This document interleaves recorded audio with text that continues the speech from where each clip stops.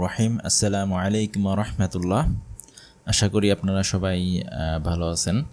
আজকে আপনাদের সামনে আমরা যে বিষয়টি নিয়ে উপস্থিত হয়েছি অর্থাৎ এই ভিডিওটিতে আমরা যে বিষয় আলোচনা করব সেটা হচ্ছে কোরআন এর ওয়ার্ড ফর ওয়ার্ড অর্থাৎ একটা ওয়ার্ডের অর্থ নিয়ে আমরা আলোচনা করব।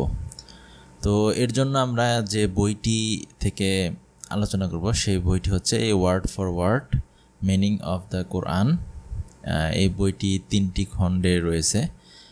এবং চাইলে আপনারা যদি ব্যক্তিগতভাবে পড়তে চান, তার জন্য এই বইটি আপনারা অনলাইন থেকে ডাউনলোড করে নিতে পারবেন। অর্থাৎ এইটা লিখে সার্চ দিলেও আপনারা ইনশাল্লাহ অনলাইনে এটি পেয়ে যাবেন। এবং বইটি লিখেছেন মোহাম্মদ মোহর আলী।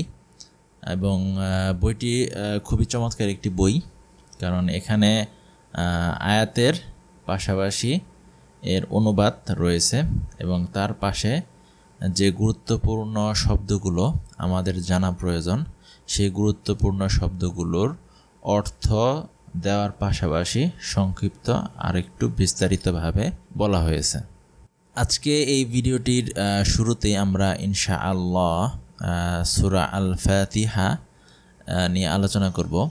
যেহেতু সামনে রমাদান মাস, আশা করি ইনশা আল্লাহ এই ভিডিওটি থেকে আপনারা উপকৃত হবেন এবং যখন আপনারা কোরআন পড়তে যাবেন, এরপর যখন নামাজ পড়তে যাবেন এবং যখন এই শব্দগুলো শুনবেন, ইনশাআল্লাহ আশা করি বিষয়গুলো আপনাদের নিকট আরও বেশি করে বোধগম্য হবে। সূরা ফাতেহা এই শব্দটির অর্থ হচ্ছে যা দিয়ে কোনো কিছু খোলা হয়। যা দিয়ে কোনো কিছু খোলা হয় ফাতিহা শব্দের অর্থ হচ্ছে এটা, অর্থাৎ খোলা হয়। এখানে দেওয়া আছে দ্য ওপেনিং আর এই সুরা আল ফাতেহাটি অবতীর্ণ হয়েছিল, অর্থাৎ নাজিল হয়েছিল মক্কাতে এবং এর আয়াত হচ্ছে সাতটি।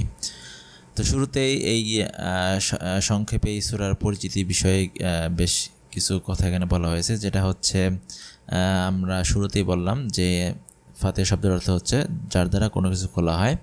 কারণ এই সুরা ফাতেহা দিয়েই কোরআন শুরু হয়েছে। আর এটার আর একটা নামও আছে, যেটাকে বলা হয় উম্মুল কোরআন বা কোরআনের মা। কারণ এই সুরা ফাতেহাতে সম্পূর্ণ কোরআনের সারাংশ রয়েছে। প্রত্যেক দিন আমাদের সতেরো রাকাত নামাজ ফরজ। এছাড়া আমাদের নফল নামাজ রয়েছে। এবং প্রত্যেক নামাজেই আমাদের এই সূরা ফাতেহাটি পড়তে হয়, যার কারণে এটাকে বলা হয়ে থাকে রিপিটেড সেভেন অর্থাৎ যাকে বারে বারে পড়া হয়। আর রাসুল্লাহ সাল্লাহ সাল্লাম বলেছেন যে এটা হচ্ছে কোরআনের শ্রেষ্ঠ সোরা। আর এই সোরার মতো একদম কমপ্লিট সারাংশ আকারে যেখানে আল্লাহ সোবানা তালার একত্ব এবং কীভাবে আল্লাহ তালাকে শুধুমাত্র ইবাদত করতে হবে এবং সকল কিছুর বিষয়ে আল্লাহ তালার প্রতি নির্ভরশীল হতে হবে এবং আল্লাহ তালার প্রতি আমাদের যে জবাবদিহিতা কেয়ামত দিবসে থাকতে হবে, এই সবগুলো বিষয় এছাড়াও রয়েছে আমাদের সৎ পথে, অর্থাৎ স্ট্রেইট পথ, সোজা পথ, সরল পথ, যে পথে চললে এবং আমাদের জীবন পরিচালিত করলে আমরা পথভ্রষ্ট হব না। এরকম পথ আমরা এই সুরাতে আল্লাহ তাআলার নিকট চেয়ে থাকি। বিসমিল্লাহ রহমান রাহিম, অর্থাৎ যিনি পরম করুণাময় এবং অসীম দয়ালু, সেই আল্লাহ তাআলার নামে আমরা শুরু করছি। তো এখানে দেখুন আর রহমান এবং রহিম এই শব্দ দুটি নিয়ে আলোচনা করেছে, করা হয়েছে, অর্থাৎ আর রহমান এবং আর রহিম তো এই দুইটি শব্দই কিন্তু রহমা। এই শব্দ থেকে উদ্ভূত হয়েছে বা এই এক শব্দ থেকেই দুইটি উৎপন্ন হয়েছে। এবং রহমা শব্দের অর্থ হচ্ছে দয়া। আর বর্ণনাকারী, অর্থাৎ যারা কোরআনের ব্যাখ্যাকার, তাদের মতে আর রহমান এটি হচ্ছে সামগ্রিক দয়া। এবং আর রহিম এটা হচ্ছে অর্থাৎ পার্টিকুলার অর্থাৎ নির্দিষ্ট দয়ার যে একটা নির্দিষ্ট ক্ষেত্র, সেটা। তো এই আয়াত আমাদেরকে শিক্ষা দিচ্ছে যে আমরা যখনই কোনো কিছু শুরু করব, তখনই আমরা আল্লাহ তাআলার কথা স্মরণ করে শুরু করব, তার রহমত, তার দয়ার কথা স্মরণ করে শুরু করব। এবং আমরা আল্লাহর নিকট চাইব যে আমরা যে এই কাজটি শুরু করতে যাচ্ছি, এতে আমরা আল্লাহ তালার রহমত চাই। এখানে আমরা আল্লাহ তালার দয়া চাই যাতে আমরা খুব ভালোভাবে, সুন্দরভাবে কাজটি সম্পন্ন করতে পারি। এরপরে রয়েছে, আলহামদুলিল্লাহ রব্বিল এর আয়াতের অর্থ হচ্ছে যে, সকল প্রশংসা আল্লাহ তালার জন্য, যিনি সকল জাহানের রব, অর্থাৎ বিশ্বের প্রতিপালক আল্লাহ তালার জন্য রয়েছে সকল প্রশংসা। তো এখানে হামদ, এই হামদ শব্দটি এখানে বলা হয়েছে যে হামদ মানে হচ্ছে যে আল্লাহ সুবানা তালার প্রশংসা করা, শ্রদ্ধা ভরে প্রশংসা করা এবং ভালোবাসা সহকারে আল্লাহ সুবানা তালার প্রশংসা করা যেটা এখানে বলা হয়েছে। আর এই হামদ, অর্থাৎ আমরা যে আল্লাহ সুবান তাল্লাহর প্রশংসা করছি, আমাদের এই প্রশংসার ভিতর রয়েছে শ্রদ্ধা ভালোবাসা। যেটা শুকর আরবিতে বলা হয় শুকর, বাং, ইংরেজিতে বলা হয় থ্যাংকস আর বাংলায় বলা হয় ধন্যবাদ। এর সাথে কিন্তু এর পার্থক্য রয়েছে। কারণ আমরা কাউকে যখন ধন্যবাদ দেই, তার, এই, ওই জন্যই ধন্যবাদ দিই যে আমরা তার নিকট থেকে কিছু পেয়েছি এবং এর জন্য, এর এগেনস্টে আমরা তাকে ধন্যবাদ দিই। কিন্তু এই হামদ, এই আল্লাহ সুবাহতাল্লাহর যে প্রশংসা, এতে রয়েছে ভালোবাসা এবং শ্রদ্ধা। এরপরে এই আয়াতে আরেকটি যে শব্দ রয়েছে সেটা হচ্ছে রব, এই রব শব্দ। এই রব শব্দটি খুবই ব্যাপক অর্থবোধক একটি শব্দ এবং এই অর্থ দ্বারা অনেক কিছু বোঝায় যেমন এখানে দেওয়া হয়েছে সৃষ্টিকর্তা, পালনকর্তা, রক্ষাকর্তা অর্থাৎ যিনি সব কিছু নিয়ন্ত্রণ করছেন। আর এই রব শব্দটিকে আসলে শুধুমাত্র একটা শব্দ দিয়ে সেটা ইংলিশই হোক বা বাংলাই হোক, শুধুমাত্র একটা শব্দ দিয়ে অর্থ করে বোঝানো সম্ভব নয়। এখানে যে এই বাংলায় যদি আমরা বলি মালিক, আর এখানে লেখা হয়েছে দ্য লর্ড তো এখানে এটা শুধু ব্যবহার করা হয়েছে যে সুবিধাজনক অর্থাৎ এটা বোঝানোর সুবিধার্থে এটা, এই শব্দটি ব্যবহার করা হয়েছে। কিন্তু বাস্তবিক পক্ষে রব শব্দটি শুধুমাত্র একটি শব্দ দিয়ে বোঝানো সম্ভব নয়। এরপরে আরেকটি যেটি রয়েছে আয়ালামিন আয়ালামিন অর্থাৎ এটাই হচ্ছে আলাম শব্দের বহুবচন। এর দ্বারা বোঝাচ্ছে যে মানব জাতি, জিন, এরপর রয়েছে ফেরেস্তা বা মালাইকা এরপর রয়েছে অন্যান্য যেসব জীবন্ত জিনিস বা অন্যান্য যেসব জিনিস রয়েছে যাদের জীবন নেই, এই এই বিশ্বের মাঝে সব কিছুরই রব হচ্ছেন আল্লাহ তালা তো কোরআনের প্রায় চল্লিশটা জায়গায়, অর্থাৎ চল্লিশটারও বেশি জায়গায় আল্লাহ তালা এই রব্বুল আলামিন এই শব্দটি এই এক্সপ্রেশনটি ব্যবহার করেছেন। কোরআনে চল্লিশটারও অধিক জায়গাতে রব্বুল আলামিন ব্যবহার করেছেন। আর এটারই আরেকটা অর্থাৎ এই রাব্বুল আলামিন বোঝার জন্য আমরা যদি কোরআনের ছাব্বিশতম সোরার চব্বিশ নম্বর আয়াতের যে, যেখানে বলা হয়েছে যে the Lord of the heavens and the earth and all that is there in them অর্থাৎ একদম সব কিছু ইনক্লুড করে দেওয়া হয়েছে। অর্থাৎ আসমান এবং জমিন এর মাঝে যা কিছু আছে সব কিছুরই রব হচ্ছেন আল্লাহ সুবানা তালা আর আলহামদুলিল্লাহ রব্বিল আলমিন, এটা এই সুরা ফাতেহা ছাড়াও কোরআনের আরও তিনটি জায়গায় বর্ণিত হয়েছে। সেটি হচ্ছে ছয় নম্বর সুরার পঁয়ত্রিশ নম্বর আয়াত, এরপর সাঁত্রিশ নম্বর সুরার একশো বিরাশি নম্বর আয়াত এবং চল্লিশ নম্বর সুরার পঁয়ষট্টি নম্বর আয়াত। এরপরে রয়েছে আর রহমান রহিম, অর্থাৎ যিনি পরম করুণাময় এবং অসীম দয়ালু। আর এই আর রহমান এবং রাহিম এই নামটি দ্বারাই কোরআন শুরু হয়েছে। অর্থাৎ বিসমুল্লাহ রহমান রাহিম, এই নাম মেনশন করেই কিন্তু কোরআন শুরু হয়েছে। আল্লাহ সোবানা তালার নামের এই গুণ গুণ দুইটি উল্লেখ করেই কোরআন পড়া শুরু করা হয়। এই আয়াত দ্বারা যে বিষয়ে জোর দেওয়া হয়, যে যেটা হচ্ছে যে মানুষের যে কোনো অবস্থাতেই হোক, সে যেভাবেই অর্থাৎ যে পরিস্থিতিতেই থাকুক না কেন, সে যেন কখনোই আল্লাহ সুবান তালার দয়া, আল্লাহ সুবান তালার রহমত, আল্লাহ সুবান তালার ভালোবাসা থেকে যেন নিজেকে বঞ্চিত মনে না করে। এটাই আমাদেরকে এই আয়াতটি শিক্ষা দিচ্ছে, যা রহমান রাহিম তিনি পরম করুণাময় এবং অসীম দয়ালু। এরপরে রয়েছে, মালিক ইয়াউমিদ্দিন, অর্থাৎ বিচার দিবসের মালিক। অর্থাৎ যিনি বিচার দিবসের মালিক। তো এখানে মালিক, এরপর ইয়াম শব্দের অর্থ হচ্ছে ডে বা দিন। আর শুধু দিন এই দিন, এই শব্দটি দিয়ে এই শব্দটি সম্পর্কে এখানে বলা হয়েছে যে এই দিন, এটার অনেকগুলো অর্থ রয়েছে এবং সেটা অর্থাৎ কোন প্রেক্ষিতে আলোচনা করা হচ্ছে, তার উপর বেশ করে এই দিন দাল ইয়ানুন এর শব্দের বিভিন্ন অর্থ ব্যবহৃত হয়ে থাকে। যেমন রয়েছে বিচার দিবসের দিন বা পুনরুত্থানের দিন বা প্রতিদান দিবসের দিন বা শাস্তিদানের দিন।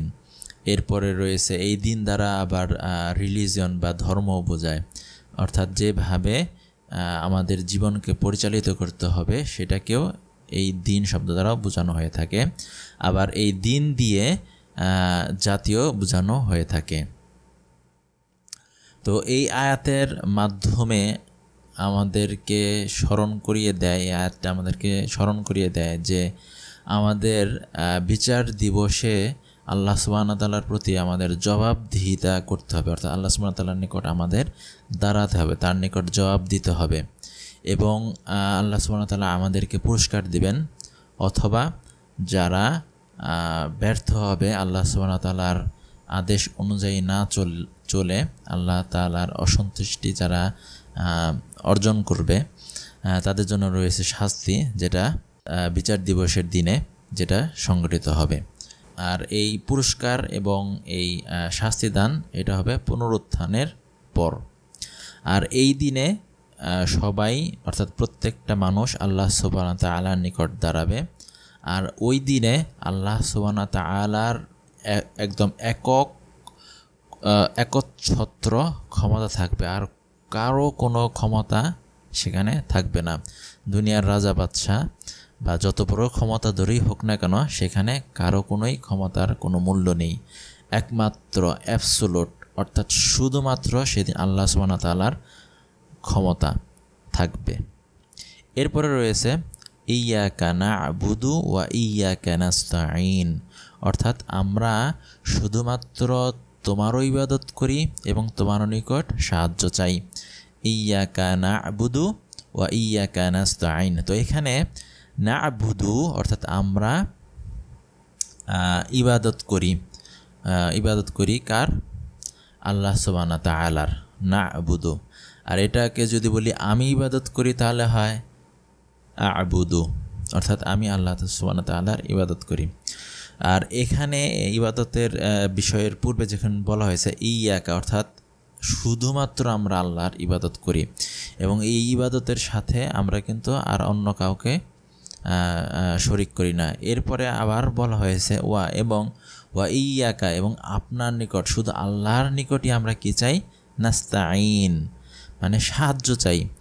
আল্লাহর আল্লাহ তালার নিকট আমরা সাহায্য চাই। আচ্ছা তো এখানে একটু বিস্তারিতভাবে যেটা বলা হয়েছে যে আল্লাহ সোবানা তালার একত্ববাদের উপর, অর্থাৎ আল্লাহ সোবানা তালার একত্বের উপর একটি ঘোষণা এখানে রয়েছে। এখানে প্রথম অংশে আমরা বলেছি যে আমরা যত ধরনের পলিথিজম আছে, অর্থাৎ পার্টনারশিপ আল্লাহ সোহানা তাল্লার সাথে আছে, সেগুলোকে আমরা পরিত্যাগ করেছি এবং আমরা যেটা আমরা বলছি যে ইউ অ্যালন, শুধুমাত্র আমরা আল্লাহর ইবাদত করি, যার এই ঘোষণার মাধ্যমে আমরা কি করেছি? আল্লাহ সুবাহতাল্লার সাথে কোনো কিছু শরিক করাকে পরিত্যাগ করেছি, শুধুমাত্র আমরা আল্লাহ তাল্লাহ ইবাদত করি। আর আল্লাহ তালার নিকটই আমাদের সর্বাত্মক আনুগত্য। আর সেকেন্ড অর্থাৎ দ্বিতীয় পার্টটিতে রয়েছে, দ্বিতীয় অংশটিতে রয়েছে, যে আমরা শুধুমাত্র আল্লাহ তালার উপরই নির্ভরশীল এবং আল্লাহ তালার নিকটই কী চাই? সাহায্য চাই। এবং আল্লাহ তালার নিকট বিপদে পড়লে আমরা তার নিকট থেকেই উদ্ধার চাই, যে আল্লাহ তালা আমাদেরকে বিপদ থেকে উদ্ধার করবেন বা বিপদ থেকে উদ্ধারের উপায় বের করে দিবেন। আর কোরআনের অনুসারে, অর্থাৎ কোরআনের যে বিষয়গুলো রয়েছে, সেইগুলো অনুসারে আল্লাহ সোবানাত আলার এই একত্ববাদ, অর্থাৎ তাওহিদকে তিনটি ভাগে ভাগ করা হয়ে থাকে। একটা হচ্ছে তাওহিদ আর রুবুবিয়া অর্থাৎ আল্লাহ সুবাহতাল্লার একত্ব হচ্ছে সৃষ্টি করার ক্ষেত্রে, অর্থাৎ সকল কিছুর সৃষ্টিকর্তা, মালিক যিনি, নিয়ন্ত্রণকর্তা, পালনকর্তা যিনি, সেটা হচ্ছে আত্মাহিদ আর রুবুবিয়া।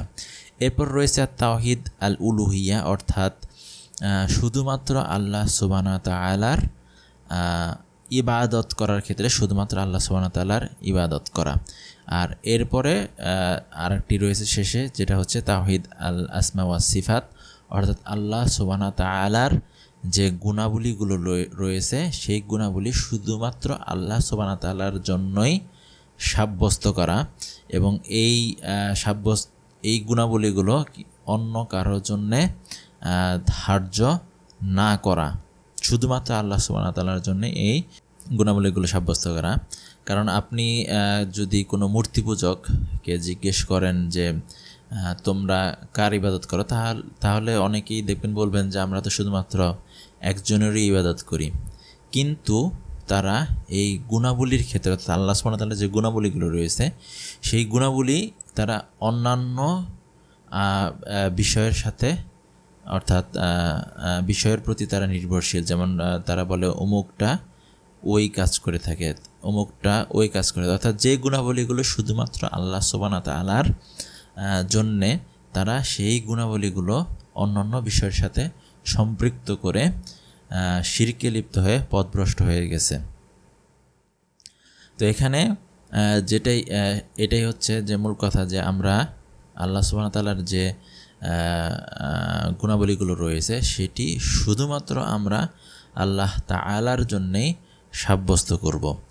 তো এই যে তাহিদের যে তিনটি বিষয় আর রুবু তাহিদ আর রুবুবিয়া তাহিদ আল উলুহিয়া এবং তাহিদ আল আসমা সিফাত এই তিনটি বিষয় আমাদের ক্লিয়ার ধারণা থাকা খুবই প্রয়োজন যাতে করে আমরা শিরকে লিপ্ত না হয়ে যাই।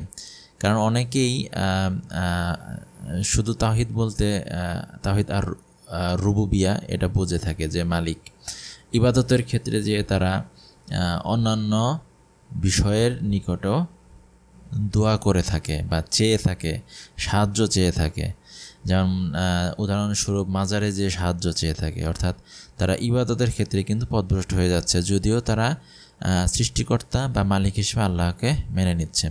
আবার আল্লাহ সুমতাল্লাহ গুণাবলীর ক্ষেত্রে তারা যে গুণগুলো অন্য অন্যদের নিকট সাব্যস্ত করছে যার কারণে তারা কি হয়ে গেছে? সিরকি লিপ্ত হয়ে পথভ্রষ্ট হয়ে গিয়েছে। এরপরে রয়েছে, ইহদিনা সিরাতাল মুস্তাকিম।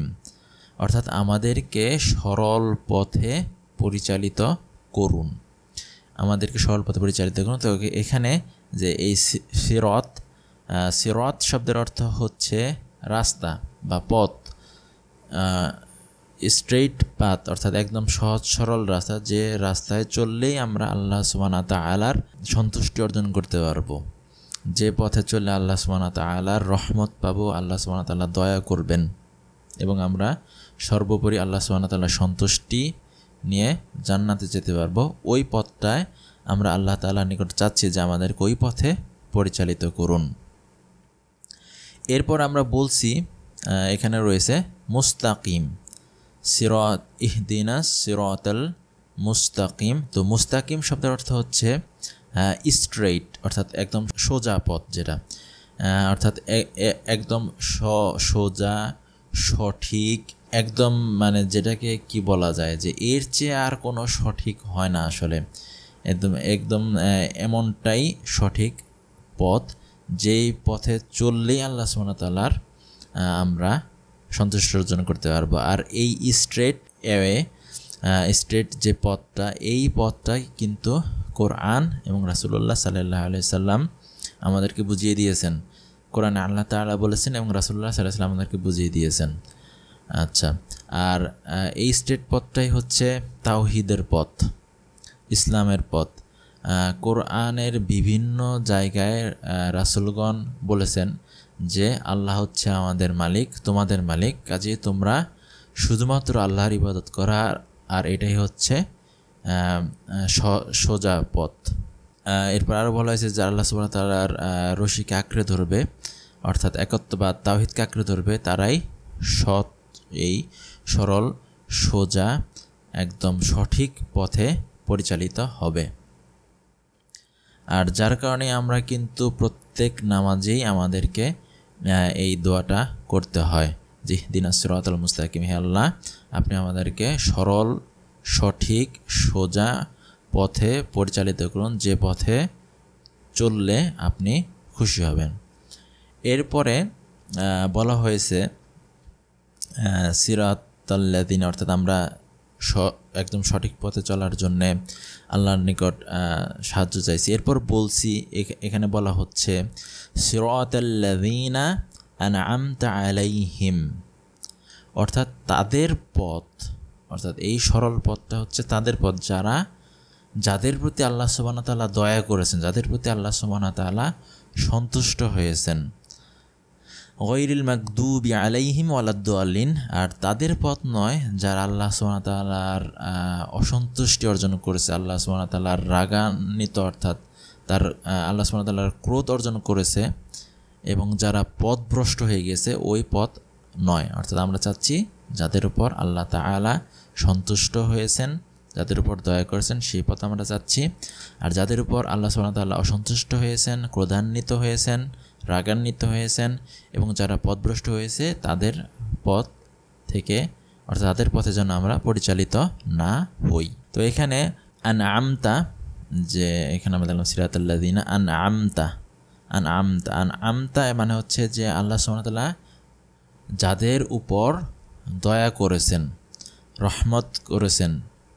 হ্যাঁ তো এখানে মানে হচ্ছে যে যারা আল্লাহ সোবানা তালার আদেশ মেনে চলেছে এবং আল্লাহ সুবাহতাল্লাহ যে সকল বিষয় থেকে বিরত থাকতে বলেছেন, সেই সকল বিষয় থেকে তারা বিরত থেকেছে। আল্লাহ সুবাহতাল্লাহ যেসব বিষয় করতে আদেশ করেছেন, সেগুলো তারা করেছে এবং যেসব বিষয়গুলো থেকে বিরত থাকতে বলেছে, সেগুলো থেকে তারা বিরত থেকেছে।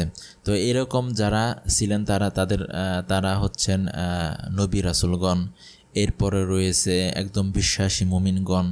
এরপরে রয়েছে শহীদগণ যারা আল্লাহ সোবানা আলার এই স্ট্রেইট পথে, অর্থাৎ একদম সৎ সিরাতুল মুস্তাকিমের পথে তারা চলেছেন। আর এই আয়াতটা আরেকটি বিষয়ের উপর জোর দেয় ইসলামের আরেকটি বিষয়ের উপর জোর দেয়, যেটা যেখানে কোরআনে বলা হয়েছে, এবং রাসুলগণ এবং রাসুল সাল্লাহ সাল্লাম যেটা বর্ণনা করেছেন আর যেটা রাসুল সাল্লাহ সাল্লামের মাধ্যমে এই মেসেজটা কমপ্লিট হয়েছে, আর পূর্ববর্তী নবীগণ যারা ছিলেন, তারা কিন্তু এই একই মেসেজটা দিয়ে এসেছেন সকল মানুষের কাছে যে আল্লাহ তালার ইবাদত করো। আর ইসলাম হচ্ছে এভাবেই, অর্থাৎ সকল নবীগণের মাধ্যমে এইভাবে ধীরে ধীরে ধীরে ধীরে এসে রাসুল্লাহ সাল্লা সাল্লামের মাধ্যমে এসে এটা কমপ্লিট পূর্ণাঙ্গ দিন রূপে পরিণত হয়েছে, যার কারণে পূর্ববর্তী নবীদের উপর এবং তাদের উপর যে কিতাবগুলো নাজিল হয়েছিল, সেগুলোর উপর আমরা, আমাদের বিশ্বাস থাকতে হবে। যেটাই, আর এই বিষয়ে আরও বিস্তারিত বলা হয়েছে সুরাবাকার চার নম্বর আয়াতে। অর্থাৎ পূর্ববর্তী নবীগণ যে মেসেজ দিগুলো দিয়েছেন, অর্থাৎ সকল নবীগণের মেসেজ কিন্তু একই। ধারাবাহিক ধারাবাহিকতা, নবীগণের দাওয়াতের ধারাবাহিকতা কিন্তু একই যেটা হচ্ছে আল্লাহ তা আলার শুধুমাত্র আল্লাহ তা আলার ইবাদত করতে তারা কিন্তু তাদের লোকদেরকে আহ্বান করতেন। অর্থাৎ স্ট্রেট পথে, সরল পথে, অর্থাৎ যে পথ একদম সঠিক সেই পথে চলার জন্য তারা আহ্বান করতেন।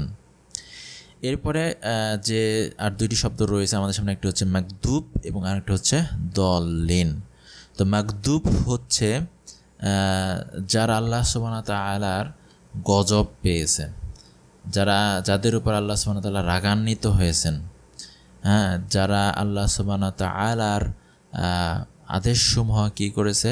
অমান্য করেছে তারপরে আদেশসমূহকে বিকৃত করেছে এবং আদেশসমূহ পরিবর্তে অন্য বিষয় এনে তারা আল্লাহ সুবান আদেশের উপর প্রাধান্য দিয়েছে, তারা এই মাকদুব অর্থাৎ আল্লাহ সুবান তালার আর যে গজব, গজবে পতিত হয়েছে।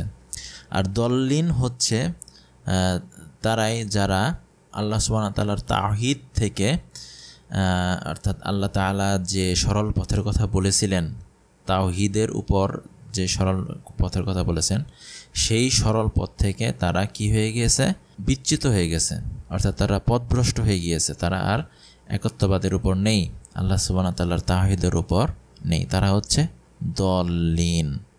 তো এই ছিল সুরা ফাতেহার উপর মোটামুটি আলোচনা। আশা করি ইনশাআল্লাহ এই ভিডিওটি থেকে সুরা ফাতেহার যে শব্দগুলো রয়েছে, সেই শব্দগুলো সম্পর্কে আমরা কিছুটা ধারণা পাব এবং এরপর থেকে যখন আমরা সোরা ফাতেহা পড়ব নামাজে পড়ব বা তেলাত করব, তখন এই বিষয়গুলো আমরা উপলব্ধি করব ইনশাআল্লাহ। তো আজ নয় আবার ভবিষ্যতে নতুন আরেকটি ভিডিও নিয়ে উপস্থিত হব এবং আমি চেষ্টা করব এই রমাদান মাসে বিশেষ করে যে সুরাগুলো আমরা আমাদের নামাজে আমাদের প্রতিনিয়ত পড়তে হয়, সেই সুরাগুলোর শাব্দিক অর্থ এইভাবে আলোচনা করার জন্য ইনশাআল্লাহ। তো আজ আমরা আবার নতুন আরেকটি বিষয় নিয়ে আপনাদের সামনে উপস্থিত হব, সে পর্যন্ত আসসালামু আলাইকুম রহমতুল্লাহ।